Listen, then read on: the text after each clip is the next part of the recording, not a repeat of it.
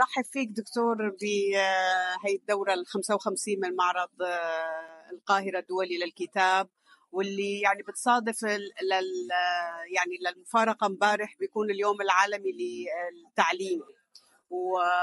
وحضرتك كمان عندك إصدار جديد من دار نشر مؤمنون بلا حدود اللي هو كتاب تجلي الإله جدل الالهي والانساني بالثقافة العربية. اولا أنا سعيدة بأنه نحن أصدرنا لك الكتاب وسعيده بهي التظاهرة كمان الثقافية اللي عم نعيشها اليوم بمصر ومصر الثقة الثقافي الكبير اللي يعني أكيد بنحترمه وبنحبه. حابه مبدئيا تعطينا فكرة عن الكتاب وبعدين ممكن نفتح المجال ليحاوروك الدكتور حمادة والدكتور بحب أبدأ وبشكر مؤمنون بلا حدود على الطبعه وأنا يمكن أول مرة أنشر كتاب ألاقي فيه دقة شديدة في المراجعات في انتظام العمل في نظام شديد في الدار. هنا أنا ما وجدتوش قبل كده في التعامل مع أي ناشر. حوالين الدقة بالتحديد في الإخراج والمراحل اللي بتسبق الطباعة فأنا بشكر حضرتك وبشكر مؤمن بلا حدود. بالنسبة للكتاب هو ده كان الكتاب رقم 13 من إصداراتي و الكتاب ده بيعبر عن قضية مهمة حوالين تجليات المقدس على الأرض. هل المقدس أو الإلهي حضوره على الأرض على وعي الإنسان بيتم إنسانيا ولا بيتم مطلقا؟ الحقيقة أن الواقع بيقول أن دايما كلنا بنتكلم عن المقدس بوصف المقدس مقدس خارج دائرة البشرية. والواقع إن غير كده تماما لأن تجليات المقدس دايما بتبقى بلغة البشر وفهم البشر وواقع البشر. من خلال حلوله في الواقع. حلوله في الواقع طبعا. وحلوله في الواقع بتسبقه بأطر النسبية في الفهم والاستيعاب. وبالتالي التعامل مع الظاهرة الدينية دايما يتم بوصف الظاهرة الدينية خاضعة للزمني وخاضعة للتحولات الاجتماعية لأن الفهم البشري بيدور في الأطر دي. هنا هذا كان تركيزي على مسألة دراسة تجليات الإله في علوم الإسلام علم الكلام والفقه وأصوله والتصوف. هنا في علم الكلام كان جذور التعامل داخل تجليات الوحي هي ما بين رفض ألو... رفض المقدس كلية وإنكار وجود الإله والسعي لإثباته والصراع بين الإسلام والثقافة السابقة عليه زي السنوية والزرادشتية أو علاقة الإسلام بالأديان الأخرى الكتابية ونظرة الإسلام على العقيدة بتاعته في ضوء العقائد الكتابية السابقة عليه وموقف الإسلام منها ثم موقف الفرق الإسلامية بعضها والبعض الآخر. في تجليات حضور الإله في العلم العقائد تجدي إن دايما الصورة القائمة قائمة على الصراع بين الأطراف. كل فصيل يعتقد أنه يملك الحقيقة. يملك الحقيقة وبالتالي العلاقة بتقوم على النفي المتبادل. النفي المتبادل والإقصاء ما بين الدين والثقافات المغايرة ثم الدين والأديان الكتابية ثم المذاهب داخل الدين الواحد بتقوم على العلاقات الإقصائية ما بتقومش على التعايش. رغم إن جذع القضية الإيمانية في العقيدة في الأديان الإبراهيمية واحد لكن حجم الاختلافات اللاهوتية حوالين تجلي الاله في الأديان الإبراهيمية متعدد. لو أنا جيت لحضور الإله في الفقه وأصوله من خلال الفقه واصوله بينظر إلى الله بوصفه مشرع.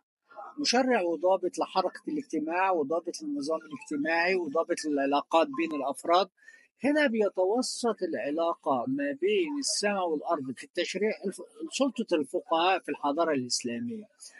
ابن القيم بيقول في كتابه إعلام الموقعين عن رب العالمين إن أولي الأمر أهل الفتية قبل أهل السلطة. لأن من يشرع ويضبط النظام السياسي للمجتمع ويضبط النظام القانوني هم أهل الفتية. فأولي الأمر هم أهل الفتية ثم أولي الأمر من القائمين على العمل السياسي. وفقا لسلطة رجال الفقه بيتم التشريع لضبط حركة المجتمع بشريعة في معظمها بالأساس هي اجتهادات وضعية أكثر منها اجتهادات آه، سماوية. اجتهادات الفقهاء انتقلت الشريعة من مجموعة نصوص محدودة لا تصل إلى أكثر من 600 آية تختص بالتشريع في الأحوال الشخصية وبعض الحدود وغيرها إلى اتساع دائرة التحليل والتحريم في الفقه الإسلامي لكي يكون هناك سلطة روحية للفقه على حركة الاجتماع على أرواح البشر وعلى أجساد البشر. وبالتالي هنا صورة الإله في الفقه بتنزل عبر صورة الإله عبر الفقه وأصوله بتنزل للضبط الاجتماعي والقانوني في يعني توظف بحسب هي المنظومه الدينيه اللي هي بدها توظفها لأغراض ثانية نعم. أغراض سلطة أغراض سياسة وهون دخل أصلا يعني السياسة في التفسيرات للوحي وللاله وتوجيه السياسة للفتية واهل الفتية وتوجيه السياسة للقضاء العلاقة بين الدين والسياسي في الإسلام تتضح على أعلى صورها في أداء مؤسسة الفقه في الإسلام في الحضارة الإسلامية وفي الدولة الإسلامية. حضرتك وصفت بالكتاب العقل الديني وصفت العقل الفقهي كيف عم بيستخدم أو شو هي أدواته؟ وكيف الطريقة اللي حول فيها فكرة الإله والوحي؟ كيف حولها لمنظومة كاملة ليستطيع أنه يتحكم فيها بالمجتمعات؟ هو عندنا في الإسلام ما فيش كنيسة بتشكل جسم المقدس على الأرض. الدولة في الإسلام بتحل محل الكنيسة وبالتالي قدرة الدولة على مأسسة النظام القانوني لا يتم لا يتم إلا عبر مؤسسة الفقه. علماء الكلام كان لهم اجتهاداتهم. العلاقة بين الفقيه والسلطان في الحضارة الإسلامية كانت قايمة على المنفعة المتبادلة. الفقيه في الإسلام قد يمارس وهنا بنقول إن عبر ثلاث نظرات أساسية. من يشرع في العقيدة ومن يشرع في الفقه ومن يشرع في التصوف ولأن التصوف دائره ثالثة ومن ينظر في التصوف الرموز الثلاثة دولت في الحضارة الإسلامية كان لهم مدارات في حركة الاجتماع البشري في الحضارة الإسلامية ولهم تأثير لاتساع دائرة الروحي في ضبط الاجتماعي وتوجيه السياسي للديني لضبط الاجتماعي. طيب سؤال دكتور هلأ وبعدين نفتح المجال ليسألوك الأساتذة إنه نحن كيف اليوم بتشوف أو حضرتك شلون بتشوف التجلي اليوم للإله يلي ممكن إنه يخدم حياة الإنسان على عكس ما تم آه، توظيفه في آه، والله أنا حبدا من الحدث الراهن وهو الصراع القائم في أرض فلسطين على الأرض موظفا بالتوظيف الدين فاليهود يعتقدون أن تلك الأرض هي أرض الميعاد والمسلمون يعتقدون أن تلك الأرض عليها البناء المقدس. تسيل دماء حاليا في فلسطين للصراع على الأرض. مهما أقصينا مسألة أن المسألة دينية أن المسألة سياسية وصراع على الأرض فالمسألة في صلبها مسألة دينية وعلاقة المسلمين باليهود وعلاقة اليهود بالمسلمين على مدار التاريخ قايمه على الصراع. هنا أنا لما أجي أشوف تجلي الاله في الواقع المعاصر في تمثل توظيف سياسي للديني اما أجي انظر للجزء النظري هلاقي الإسلام كدين أقرب لليهودية عقيدة وشريعة منه للمسيحية. وإن المشترك الإنساني بين الإسلام واليهودية بالعمق وبالأساس متصل أكثر منه منفصل. كيف يكون الجزء الإبراهيمي مشترك ما بين الإسلام والمسيحية على مستوى العقيدة والشريعة؟ وكيف يكون هناك هذا الصراع والمشترك الأخلاقي أيضا. فالوصايا العشرة الموجودة في اليهودية موجودة في الإسلام على مستوى التشريعات. هنا مسألة النظر إلى الأديان الإبراهيمية على أنها كانت وبالا على منطقة الشرق الأوسط وأن العلاقات في منطقة الشرق الأوسط تقرر بأن تلك المنطقة لم تشهد عبر تاريخها استقرارا واضحا بسبب الأديان التي يعتقد البعض أنها رزق في منطقة الشرق الأوسط. المشترك الإنساني بين تلك الأديان أقرب إلى بعضها البعض لكن التفسير الكهنوتي لكل دين يقوم على إقصاء الدين الآخر ورفض فكرة التعايش ورفض اعتراف بحق الآخر في الوجود. أعتقد أن يظل التوظيف السياسي للدين في المشهد الراهن حاضر في كل الأحوال. الأطراف تريد أن تقصي بعضها البعض الآخر. ليس اعتقادا أن الاختلاف في العقيدة وليس الاختلاف لا في العقيدة ولا في الأخلاق ولكن الاختلاف في التوظيف السياسي الذي يتم للعقائد على الأرض.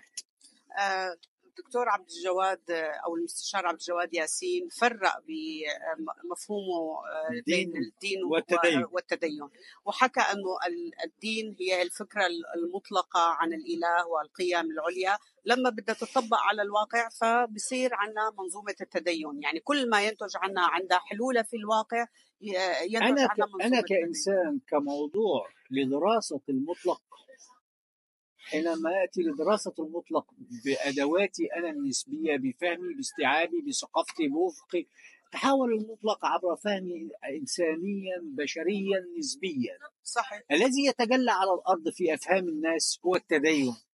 التدين الذي يصنعه رموز كل تيار ورموز كل فرقة ورموز كل دين. الفهم الذي يوجه الدين إلى مسار العنف أو إلى مسار التعايش إلى مسار القوة أو إلى مسار التسامح. وبالتالي هنا أنا لا أؤمن في على الأرض بحضور ما هو مطلق لأن تجليات المطلق لا تتجلى إلا عبر العلماء وفهم العلماء. فالحديث عن ملكية المطلق عبر البشري دي أغلوطة طبعا والأغلوطة دي أساس الإقصاء والعنف السائد في المنطقة سواء بين السنة والشيعة والفرق والمذاهب الإسلامية. داخل الدين الواحد وبين الدين والدين رغم ان أصل الدين الكتابي واحد. طيب راح نفتح المجال للدكتور آه، حمادة يوسف لحتى آه، شكرا لحضرتك وشكرا لرحمن على الفرصة يعني ناقش معاك أنا بس عندي آه، تساؤل بسيط لحضرتك من قارئ يعني قرأت حضرتك قبل كده وفاهم يعني الفكرة الأساسية اللي حضرتك بتتكلم فيها يعني. آه عندي مشكلة بس هو آه كل حضور للدين أو للإله وأنا يعني ما بفرقش كتير يعني ما بين الحاجات اللي حضراتكم بتفرقوا بينها اللي هو الدين والتدين لأن أنا ما شفتش دين بلا تدين. آه. آه وما شفتش إله بلا دين. يعني كله كلها دي حاجة آه واحدة إحنا بن, بن, بن لكن أنا بتكلم عن يعني الدين اللي هو إحنا كلنا آمنا به مصدر للخير ومصدر للجمال ومصدر للحق ومصدر لكل ما هو يعني جيد وحسن في الحياة. ليه لما بيتفاعل مع الواقع ومع الأرض ومع البشر بينتج دمار وفرقة وحرب وكراهية وعداوة وسوء فهم ولبس ومشاكل؟ ماشي؟ يعني أنا ما شفتش يعني كانوا بيقولوا دايما في حكمة كده كنت قريتها بيقول الدين الذي لا ينفعك في الدنيا أه لا يفيدك في الدنيا لا يفيدك في الآخرة. يعني إحنا آه، الدين بالنسبة لنا في الحياة إحنا طول الوقت إحنا في مشكلة. يعني أنا في مشكلة مع نفسي بسبب الأفكار اللي أنا مقتنع بيها ومؤمن بيها وبتمارس عليا سلطة بتحرمني أحيانا من حاجات بسيطة في الحياة لأن أنا فاكر إنها حرام. وفي نفس الوقت بتمار... عامله عاملة لي مشكلة في التواصل مع الآخرين بسبب إن ده مش على نفس أفكاري ولا نفس مذهبي ولا أنت حضرتك بتقول الحل إن إحنا نتعايش. ده كلام حلو بس مش إجرائي. يعني هنتعايش إزاي؟ آه يعني كلام حلو إن إحنا نحب بعض ونتعايش مع بعض ونتقبل بعض بس إزاي؟ إزاي؟ يعني الأمر حتى متوقف حتى النموذج من يوجه العامه نعم؟ السؤال الأدق من يوجه العامه الذي يوجه العامه إلى التعايش هم من يملكون توصيل الفهم للدين لهؤلاء الناس. وبالتالي أنت تجد الدين يوجه من قبل البعض إلى العنف في الجماعات الإسلامية وجماعات العنف في التاريخ أو يوجه إلى التسامح والتعايش بين الأعراق بعضها والبعض الآخر. أيوة بس إحنا قبل ما نتلقى الدين من الجماعات الإسلامية ولا من الخطباء؟ إحنا الجماعات الإسلامية بس حتى المؤسسات إحنا بنتلقاه من الأسرة. يعني أنا كنت بنضرب وبتهان مثلا وبتشتم عشان ما بصليش. فاضطريت أصلي عشان ده بيتوقف على طبيعة التعليم الديني السائد في المجتمع. يعني هل هل التعليم الديني السائد يعلمني أن الضالين هم اليهود والنصارى؟ وبالتالي أنا بملك الحق في الفاتحه في كل صلاة؟ يعني تفسير الآيات هنا وتنزيلها على أفهام الناس في المقررات الدينية هو اللي بيصنع الوعي العام الديني على مستوى الناس. يا دكتور. يعني التربية تتشرب عبر الفهم يتشرب عبر التربية والتعليم من أنظمة التعليم بالأساس. طيب. أنا بس والخطاب السائد في المجتمع. حضرتك أنت برضه بتحمل الممارسة المسؤولية عن الصورة المشوهة للدين. ماشي؟ الصورة المقدمة للفهم. ماشي. أنا بتكلم عن دلوقتي إمتى إحنا بقى هنفض... هن يعني هنتحول لنقد النظرية نفسها. ماشي؟ ليه إحنا ما إحنا إحنا الجماعات دايما الإسلامية والأصوليين وكل الخطباء إن العيب في المسلمين مش في الإسلام. والإخوان يقولوا العيب في ال- الناس مش في الدعوة. وال... إحنا كلنا دايما محملين الناس آه المسؤولية عن ال- ال- المشكلة. ما بنهوبش ليه ناحية النظرية ناحية النص ناحية الفكرة المؤسسة. الفكرة المؤسسة أنا هطرح شيء يعني هطرح إن فضاء القرآن في تعدد المعاني هو فضاء متعدد الدلالات مرتهن بشرط الاجتماع. يعني لو جيت لآيات التسامح في الإسلام وآيات الجهاد. آيات التسامح في الإسلام تدعو للتعايش تدعو للتعارف. تدعو للمحبة. الخطاب موجه يا أيها الناس نيجي للخطاب الخاص بالجهاد دايما بيبدأ بالمؤمنين. آه. خطاب الجهاد لما أجي أنزله في الفهم أنزله. هو جهاد بالسيف بس ولا جهاد بالمال وجهاد النفس ليه معاني متعددة داخل دلالات الفهم يختزل كل أنواع الجهاد. إلى جهاد السيف فقط. آه. من ينزل المعنى على أرض الواقع؟ دي مشكلة الفهم السائد.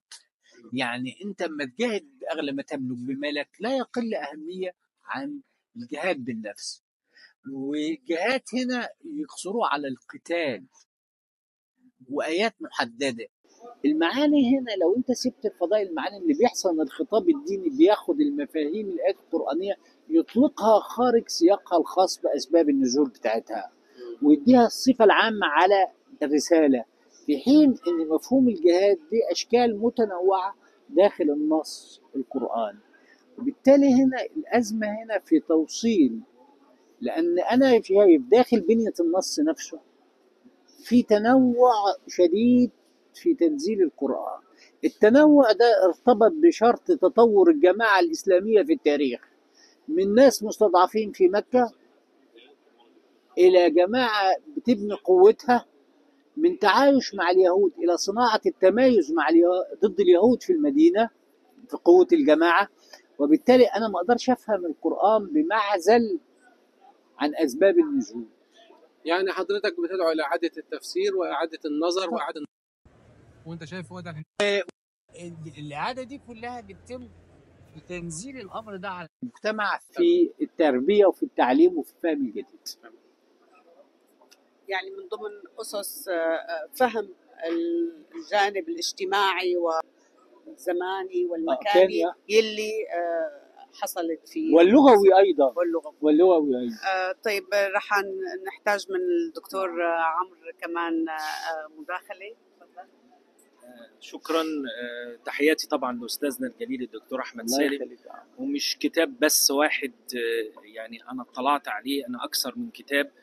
لكن آه، ليا مداخلة وليا سؤال. آه، المداخلة هتكون آه، الفهم الفقهاء عبر التاريخ كان مرتبط بمنظومة مؤسسية. لا نستطيع أن نعزلهم ابدا عن فهم آه، ال- ال- التدين.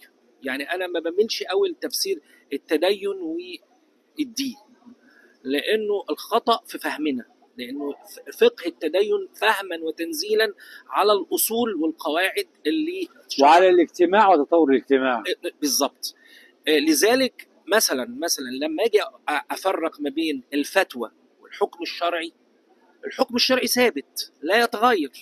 وفي القواعد الأساسية في الأصول في الثوابت الثوابت اللي هي إيه؟ الصلاة الزكاة الايه لكن زي ما قال الدكتور أحمد في مقدمته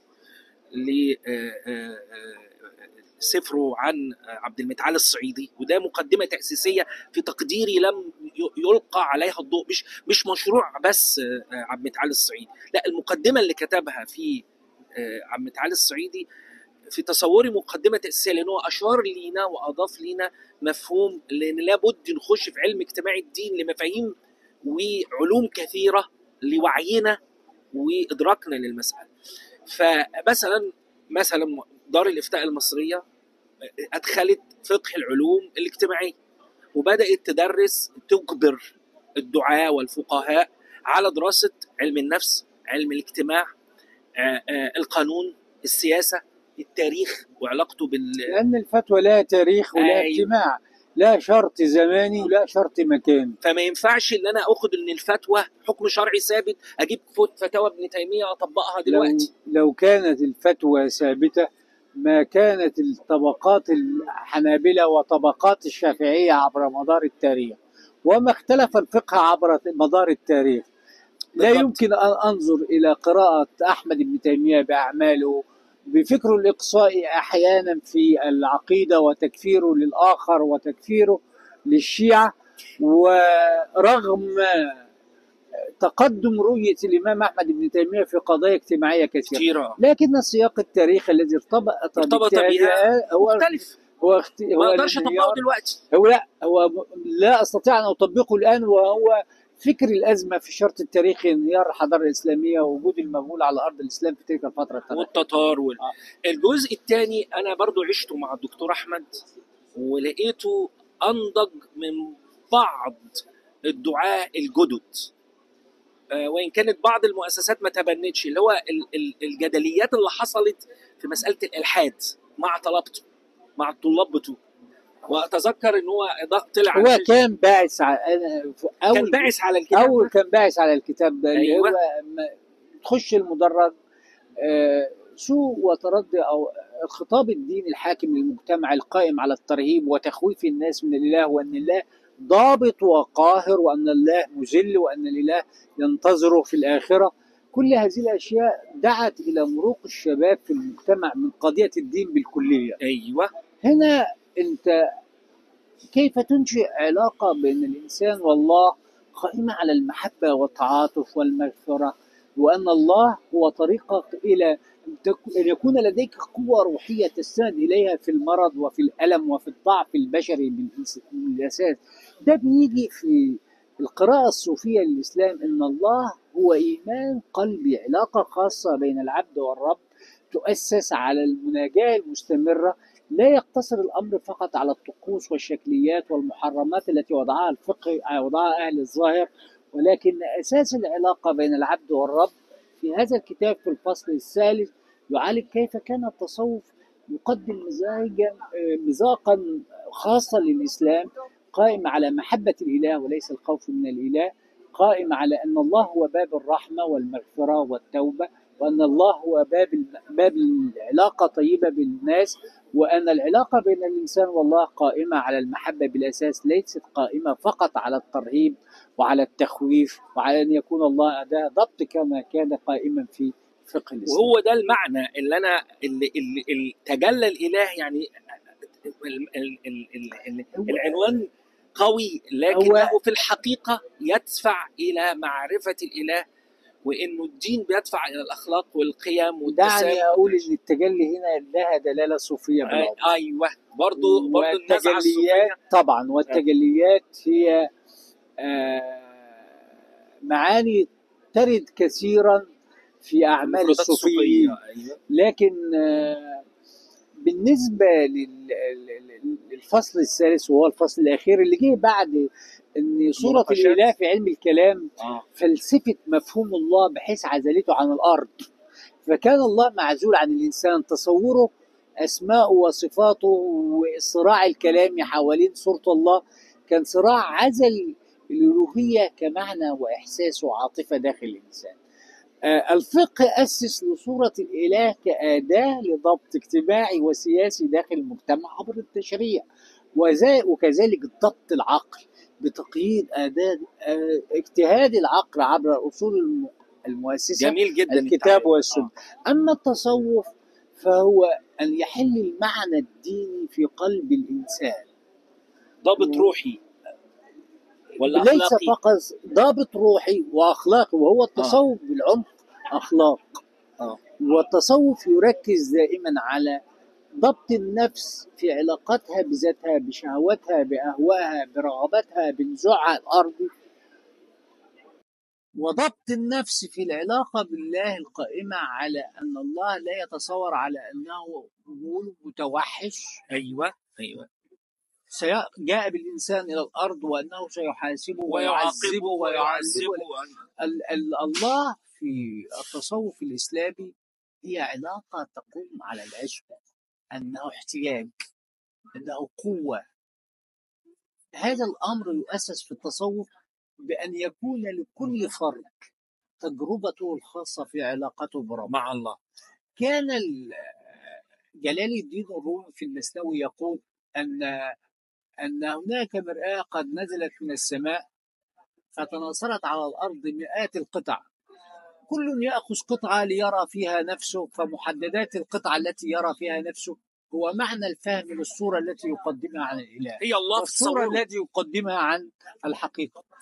فلا أنا أقول أن لكل منها إله لكل منا إله ولكني أقول لكل منا فهمه لإلهه ودينه بشكل مختلف مشكوب مشروط بطبيعة الثقافة والتربية والتكوين التي أسس فيها هذا الشخص.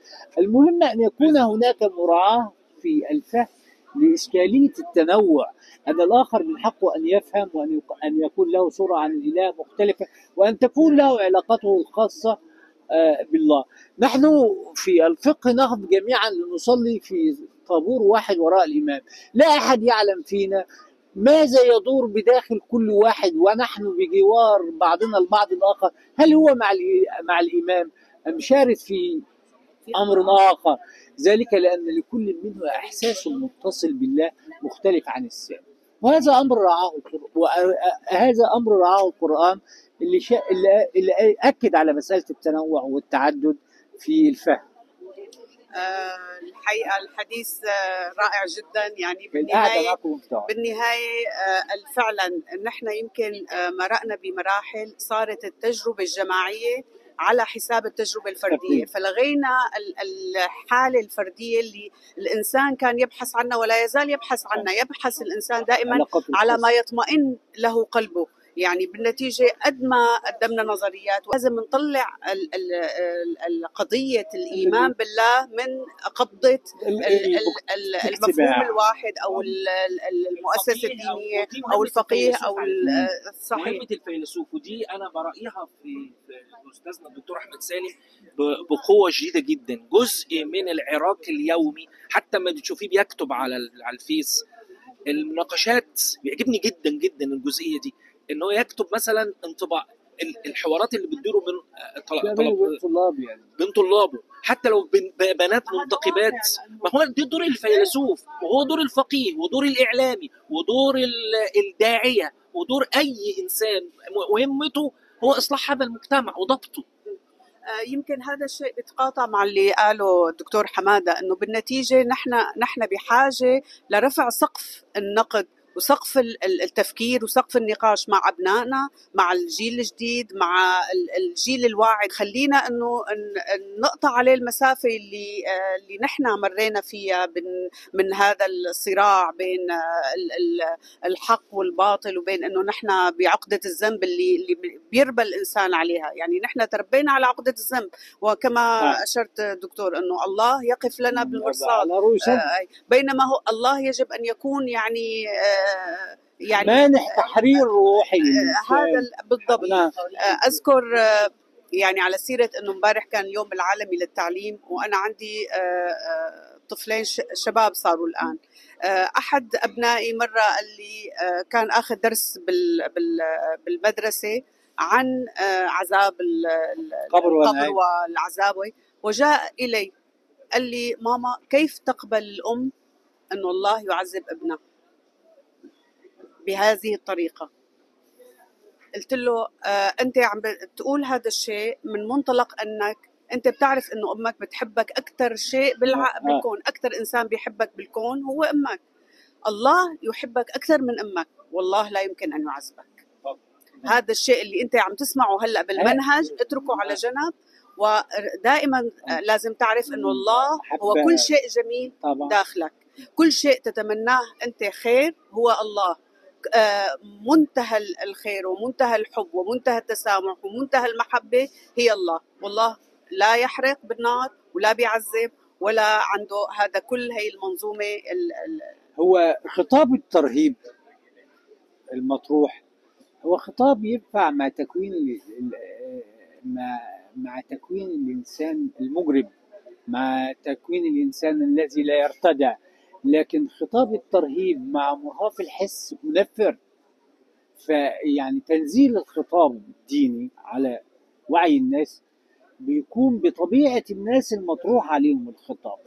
أما بتيجي المجرم أو حرامي أو نصاب أو عمل أنت بتهدد تقول ربنا مش هيسيبك أنا هسيبك لربنا هو كفيل بيك إلى آخره. لكن ما تنفعش تيجي بنفس الخطاب ده وتوجهه ناحية ناس مرهف الحس علاقات قايمة على العاطفة الراقية وتخاطبهم بخطاب الترهيب. يعني ليس لهذا موضع لذلك الحديث آه، جميل جدا آه، دكتور. بنتمنى كل التوفيق للكتاب و... وأنا بشكرك بشكل خاص جدا على تعبك وعلى مراجعة البروفة ثلاث مرات معايا. يا دكتور أخطاء أعمل أرجع.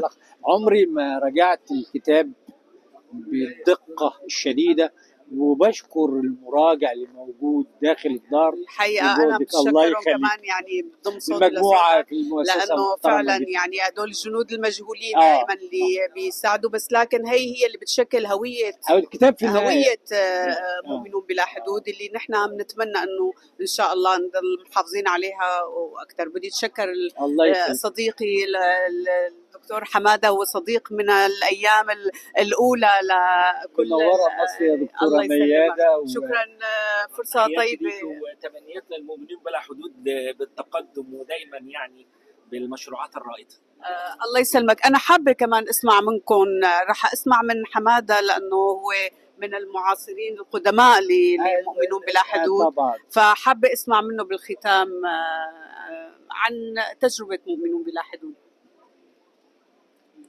أنا طبعا آه، كنت من الباحثين اللي اشتغلوا في آه، المؤسسة اللي كان آه، في مراحل تطورها ولادة مؤسسة مؤمنون بلا حدود. كنت يعني سيء الحظ إن أنا ما كنتش مدرك التطور والتوسع والعمل المؤسسي الممتاز اللي آلت إليه الأمور في مؤمنون بلا حدود. ف يعني تنحيت بدري ولكن أنا دايما لما بشوف الإصدارات بتاعتها وبشوف الشغل الممتاز اللي طالع ده حقيقي يعني أحيانا بندم إن أنا ما كنتش أحد العاملين اللي يعني بيساعدوا في في ظهور الأعمال المؤلفة والمترجمة وأعمال المؤتمرات حقيقي يعني كانت آه، حاجة كويسة وما شاء الله كل الناس اللي يعني حريصة على قراءة الجديد في عالم الفكر والفلسفة والاجتماع والحاجات المميزة ضروري آه، يعدي على مؤمنون عشان يشوف آخر إصداراتها إيه. وطبعا أنا مدين للصديقة الأستاذة دكتورة ميادة على إن هي آه، كانت من أكثر الناس اللي ساعدتني في بداية التحاقي بالمؤسسة. واستمرت على تواصل معايا وكانت حريصة إنها دايما تزودني بكل الكتب المهمة اللي أنا يعني ببقى محتاجها من الدار. فهي صاحبة صاحبة فضل عليا يعني كتير بشكرها بشكرها شكر كبير يعني. نسمع من آه، أنا مؤمنون بلا حدود بالنسبة لي هي سؤال العقل. آه، في وقت آه، خرجت فيه بعض العناوين اللي بتناقش بجدية قضية الإسلام السياسي. آه، لأنه قضية الإسلام السياسي البعض بيتخيلها الآن قد ماتت. كان وزير الداخلية امبارح ورئيس الجمهورية آه، آه، تحدث عن خطورة الأفكار وإن هي عابرة للقارات عابرة للأجساد عابرة للأفكار الرئيسية في المجتمعات اللي إحنا متخيلين إن هي ثابتة. فهي مؤمنون بلا حدود هي أفكار بلا حدود اللي إحنا محتاجين مؤسسة واثنين وثلاثه تكون قادرة على النفاذ في القضايا الحساسة وعندها الجرأة وعندها طرح الأسئلة بصرف النظر عن الإجابات لأنه الإجابات هتفضل موجودة لحد قيام الساعة لها تفسيرات مختلفة أو أفهام مختلفة ده زي ما. قال أستاذنا الدكتور آه، أحمد سام فأحييكم ومصر دائما تحتضن آه، كل النماذج لأنها آه، جزء من العالم العربي في وقت يضيق فيه حتى الأفهام في التعامل مع قضايا زي قضية غزة وقضية فلسطين وقضية كل التحيه والتقدير ليكم. شكرا. آه، الكلمة الأخيرة أنا بقول إن في سمت مميز لمؤمنين بلا حدود كدار نشر كبيرة جدا. أهم حاجة فيها وصلبها الأساسي هو دراسة الظاهرة الدينية عبر التخلق الفلسفي والاجتماعي والتاريخي. وبالتالي ده بيمنح الظاهرة الدينية قدر من المرونة بعيدة عن التشدد إن يكون فيه مداخل مختلفة لدراسة الظاهرة الدينية من الناحية السوسيولوجية والفلسفية والتاريخية. ده بيخلي العقل الإنساني أكثر تسامح أكثر مقدرة على التعايش لقبول مسألة التنوع ودي سمة أصيلة في المؤمنين بلا حدود حقيقي. وأنا يعني أتمنى يكون ده مش الكتاب الأخير لي يعني. وبشكركم مرة ثانية شكرا لكم وشكرا لك دكتور. وإن شاء الله بنتمنى النجاح لمعرض القاهرة. وتبقى دائما منارة يعني منارة وأم الدنيا. يا هلا فيكم. شكرا القعدة معك ممتعة. إيه الله يسلمك والله. أنتوا أكثر يعني. الله يخليك رجعتوا لي لاجواء أجواء مؤمنون.